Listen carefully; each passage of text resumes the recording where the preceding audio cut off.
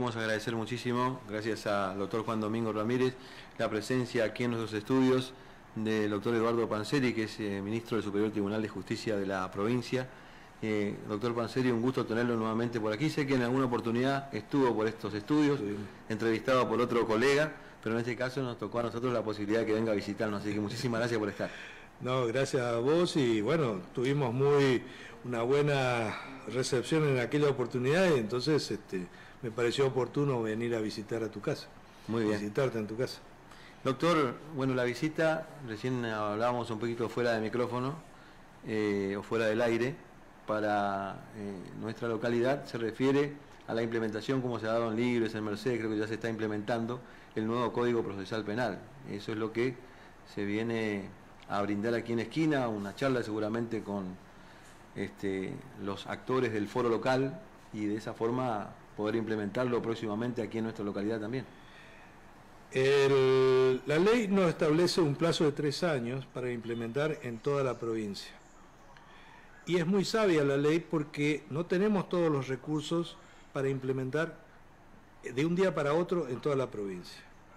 Nosotros estamos implementando el nuevo código eh, con los recursos técnicos, humanos e edilicios que a veces son muy escasos. Vos fíjate de que necesitamos una capacitación al personal, como así también un adiestramiento a todos los abogados y a todos los actores. ¿Pero por qué? Porque todo lo que tenemos antes no nos sirve para hoy. Todo lo que hacíamos hoy no lo vamos a hacer más. ¿Cuál era la lógica antes? Yo tenía un papel en donde ponía, señor juez, necesito tal cosa. Lo presentaba por ventanilla, se ponían las cargos, los sellos, todo. Se gestionaba dentro del tribunal y posteriormente el juez tomaba una decisión después de pasear por un sistema o un circuito administrativo burocrático. Hoy, ¿cuál va a ser la lógica? Aquel que desea hacer alguna petición al Poder Judicial, que puede ser cualquier defensor, el querellante, la propia víctima, el defensor, cualquiera, o el fiscal, va a solicitar por sistemas informáticos la realización de una audiencia para tratar tal tema. En forma automática la oficina judicial, que cariñosamente le decimos OFIJU, va a designar un horario en donde en forma electrónica le avisamos al juez, al fiscal, a las partes, al defensor, al que solicitó. Nos vamos a reunir y en esa reunión se va a solicitar tal cosa, A, B y C. La contraparte tendrá la oportunidad de opinar A, B y C e inmediatamente el juez decide. No pasa un cuarto intermedio, para los juicios sí está destinado alguna posibilidad de un cuarto intermedio, pero para las, decisiones que se tomen en primera instancia eh, a cargo del juez de garantía se debe tomar en ese lugar, en ese momento. Nosotros estamos haciendo audiencias en Paso de los Libres, Montecasero, hoy Mercedes y Curuzú, que por supuesto también engloban a los departamentos de San Martín y Sauce, en un promedio de 6 a 9 minutos las eh, audiencias unilaterales, donde vienen las partes y piden, por ejemplo, el fiscal pide algo, por ejemplo, una orden de allanamiento. Eh, las otras audiencias estamos en aproximadamente entre 20 a 29, 32 minutos, y la audiencia más larga que tuvimos hasta, hasta ahora fue una de dos horas, sumada, bueno, las, las, dos audiencias que tuvimos, de dos horas por un habeas corpus donde, bueno, se trató muchas cosas, eh, se alegó muchas cosas. Entonces, ese es el promedio y, lo, interesante, como yo te decía a vos, periodista, publicidad. Publicidad desde el primer momento. Hoy, en este momento, se produce un hecho. ¿Sí? ¿A qué hora? A las 8. ¿Querés preguntar algo? ¿Saber algo? a noticiarte de algo y transmitir a, la audiencia, ¿qué tenemos que hacer? Ir al, comisario, al juez de instrucción, al fiscal, que ellos son intérpretes porque también no estuvieron presentes, así que bueno, veremos qué es lo que te dicen y vos armás tu nota. Vos con el nuevo código te enterás en el mismo caso, te enterás de hoy de un delito, entras en la página del Poder Judicial o te acercás hasta la oficina judicial y en el, en el transparente va a haber un listado de audiencias. Vos te presentás a la audiencia y escucharás lo que dice la víctima, lo que dice el abogado, lo que dice el, imputado, y armas tu propia nota, sin intérprete. no sé es público el tema, se puede... Desde el primer momento, desde la primera audiencia es pública. Todo es público. Eh, salvo por cuestiones eh, que se decrete la, eh, digamos, la reserva, porque hay una mujer abusada, quizás, o una persona abusada, hay una cuestión de niño, una cuestión de familia. Bueno, hay ciertos temas que no pueden ser públicos. Sí pueden ser accedidos a su conocimiento, pero no en calidad de público indiscriminado. Para eso se tiene que eh, tener un sistema muy aceitado en cuanto a la digitalización, Estamos trabajando fuertemente sobre ese tema y hoy tenemos un software, digamos así, en forma parcial. Vamos a para marzo, creo que cuando pongamos en vigencia en Goya, en los departamentos de La Valle, Goya y Santa Lucía, eh, ¿cómo es? Santa Lucía también y Esquina, vamos a tener un software donde va a gestionar todo y creo, si nos si nos proponemos y espero que sea así, va a ser el más moderno, el más moderno de toda la República Argentina. Y no por ser el último, sino por la conformación integral que bueno va a tener algunas eh, algunas cuestiones muy novedosas. ¿Eso también va a estar limitado, doctor, por la pandemia? o Porque ahora por ahí hay unas cositas que no se pueden realizar, este, o por lo menos se dice que la pandemia interrumpe algunas cuestiones también, o eh, algunas demoras produce, digamos. Es evidente que es una barrera más que estamos sorteando, eh, no solamente la pandemia, tenemos que sortear la falta de recursos, la falta de edificios, venimos a, tenemos que reordenar todo porque nosotros necesitamos tener tecnología y salas de audiencia. Si yo no hago audiencia, yo no tengo justicia, no tengo decisión. Por lo tanto, necesito reordenar todos esos temas. Y los edificios en este Poder Judicial, donde comprábamos casas viejas y eh, ninguna es apto para un desarrollo como el sistema adversarial lo indica. Pero con la construcción de algunos eh, edificios y con este, reorganización y remodelación y refuncionalización, eh, lo vamos a lograr. El problema eh, es la tecnología, que todo lo que ustedes están tocando acá eh, cuesta dólar, el costo es dólar. Y yo hoy, por ejemplo, el otro día compramos tres cámaras de alta generación, eh, con ese tipo de cámara de que te enfoca a vos si estás hablando, 360 grados, puede producir en el mismo momento todas las copias en el sistema que vos quieras, DVD, pendrive, eh, por correo electrónico, te puede desgrabar toda la audiencia. Bueno, costó 52 mil dólares. Tres. ¿Sabes cuántas necesito? Un montón. Razón por la cual eh, también tenemos eh, una batalla que vencer, que es la tecnología a costo dólar y el ambiente nacional, provincial, bueno, me exime de todo comentario, ¿no? Claro. Va a ser una gran barrera, no solamente la pandemia. ¿Ustedes solicitaron este, de alguna manera la tenemos posibilidad de tener los recursos? Tenemos buena relación con el Poder Ejecutivo y tiene una tremenda predisposición, eh, pero por ejemplo, de, edificio para el año que viene tenemos un gasto de 340 millones, de edificio nada más, para reordenar las ciudades de Ituzaingó, Santo Tomé, eh, Virasoro, eh, Saladas, Bella Vista, Goya, Esquina, y Monte Casero, que no tengo nada en Monte Casero. Entonces tenemos que pensar, y, más toda la tecnología, que más todas las cámaras, más las computadoras, porque también eh, el, señor fiscal va, se le dispone una cámara mucho más chica, mucho más individual, para hacer sus propias entrevistas, para hacer sus propias eh, audiencias, para la recolección de las evidencias que va a presentar en el momento de pedir una audiencia al juez y ahí va a reproducir esa evidencia. Entonces, es evidente que necesitamos una tecnología y necesitamos dinero. Esto aporta un eh, poquito el tiempo, como decía el doctor, de la presentación de pruebas y demás, como usted decía hace un ratito, eh, digamos, acelera el tema judicial y esto va este, favoreciendo lo que es las víctimas, sobre todo, que van a tener una resolución más, más rápida, pero también a algunas personas que necesitan este, una resolución por ahí a través de un juicio abreviado, como usted dijo. Bueno, eh, por ejemplo, nosotros tenemos el primer condenado en paso de los libres en 17 días. También estamos haciendo audiencias donde eh, está sentado la defensa, como así también el imputado, el fiscal y la víctima.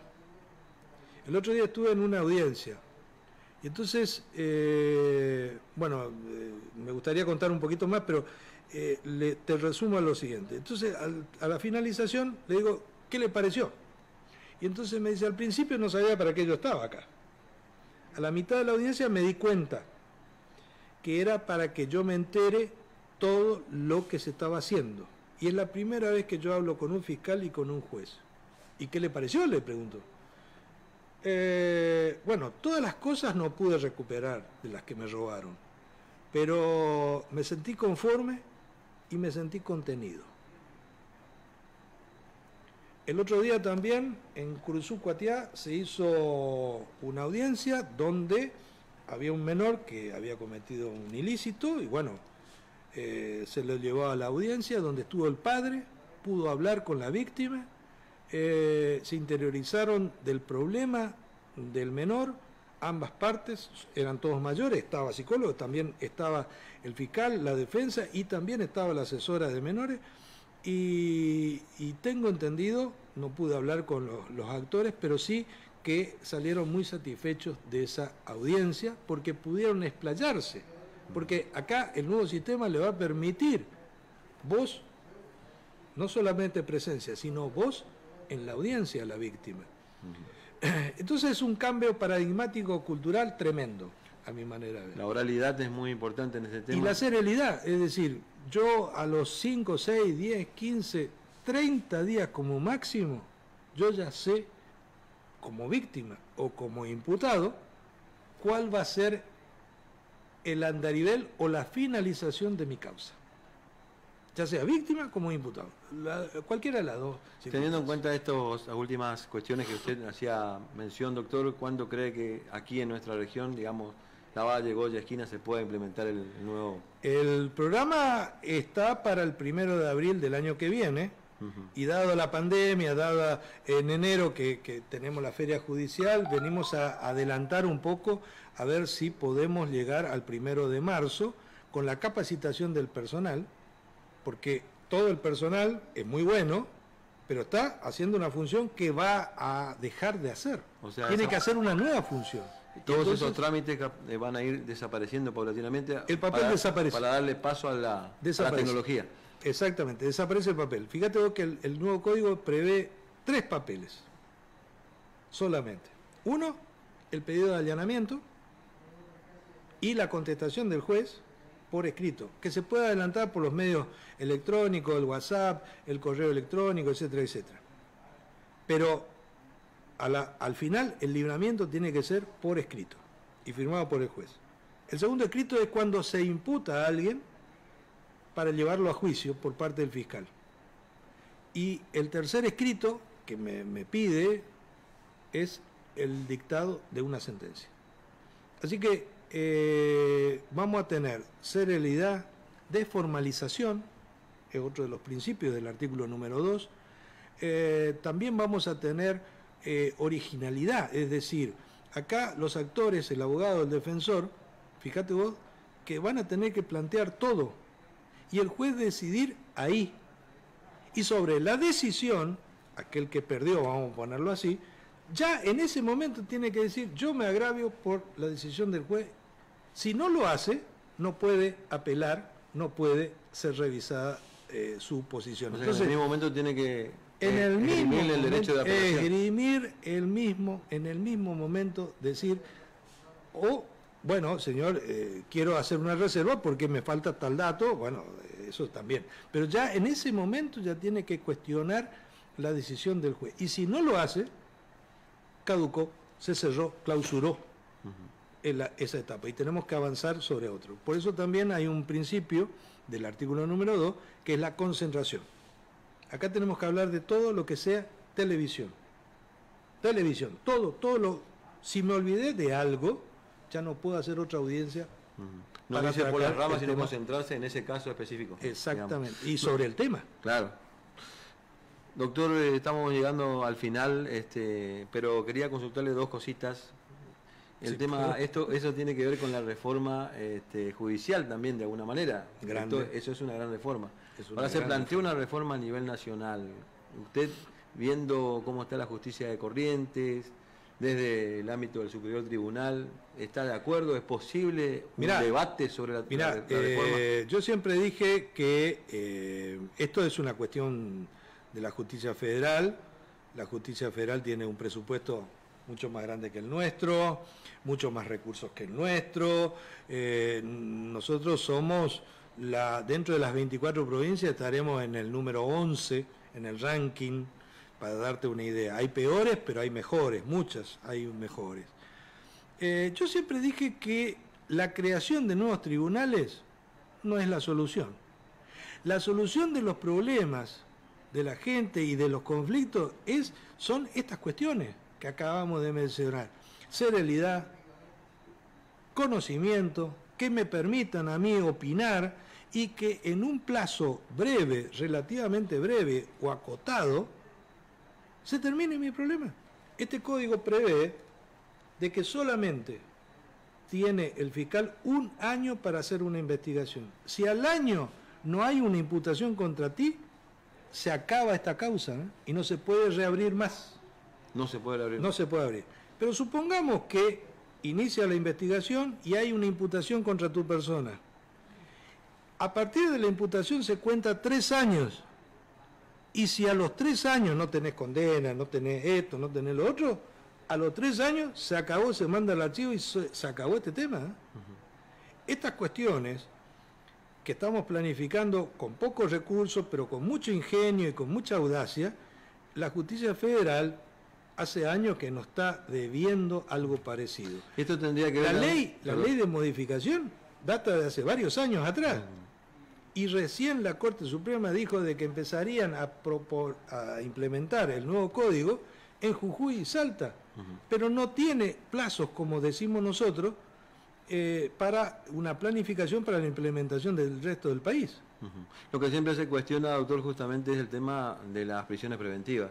Este, siempre se, cuestiona el tema que son muy largas, que no hay decisiones, ¿no es cierto? Bueno, nosotros, eh, Paso de los Libres eh, ya dictó varias prisiones preventivas. Por ejemplo, yo estuve en una, en una audiencia donde el fiscal, supongamos, no me acuerdo bien, pidió algo así como seis meses eh, la defensa se opuso y el, fiscal, el juez fijó tres meses para la prisión preventiva. Es decir, tenía que terminar la investigación en tres meses. Al día 91, y estábamos hablando de un homicidio, estamos hablando de un homicidio, al día 91 esa persona recupera la libertad si no hay acusación, no hay finalización. Entonces, hay muchas, al fiscal le dan mucha potencia, muchas herramientas, porque puede utilizar eh, todos los organismos nacionales, provinciales, pedir la colaboración a las municipalidades, el cuerpo forense, el Poder Judicial, pero cuidado que a la defensa también, porque ella sabe con plazo que tiene tres meses la investigación, si no, queda libre. Un año, o si no, se cierra y si me hiciera una imputación tiene tres años el Poder Judicial para terminar mi caso. Y si no termina, es problema del Poder Judicial. Entonces estamos dando garantía no solamente a, la defensa o al imputado, sino a la sociedad de que estamos trabajando lo mejor posible y con la diligencia y la serenidad, bueno, que establece el mismo código. ¿no? Bien, mañana entonces la reunión que se va a dar. Hoy vinimos a hablar con todos los funcionarios, empleados, secretarios, jueces, defensores y asesores, justicia civil también, porque acá los jueces civiles subrogan a los penales, y mañana vamos a tratar de, reunirnos con los abogados para intercambiar algunas ideas y explicar algunas cuestiones, y a su vez también eh, con los medios periodísticos para ver de alguna manera este, algunas explicaciones. A su vez también vinimos a hacer ciertas entrevistas a, los funcionarios porque tenemos que refuncionalizarlo a los funcionarios.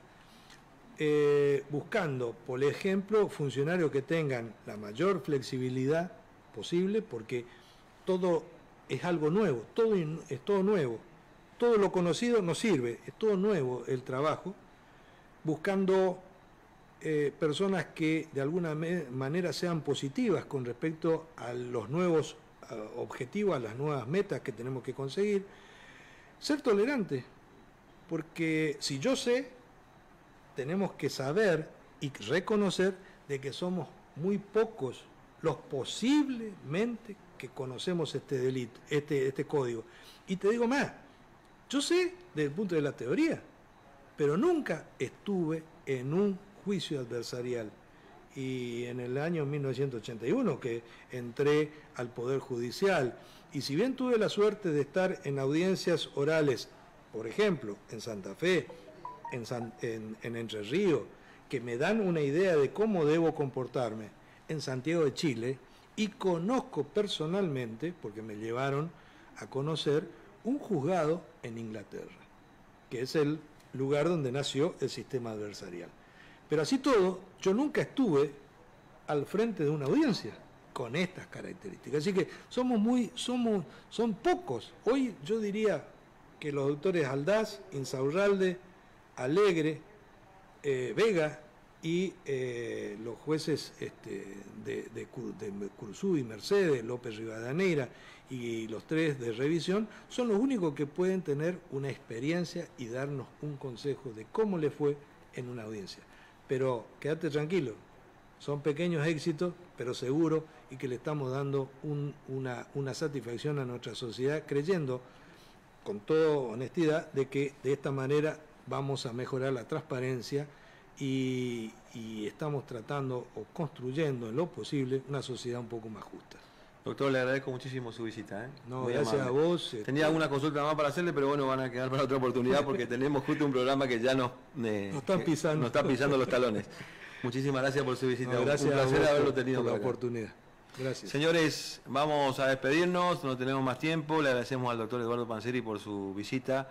Este, nos vamos a ir, no sé si lo tenemos por ahí los datos del tiempo para el cierre y ya venimos con Esquina Canta. Estamos en los últimos segundos ya del programa.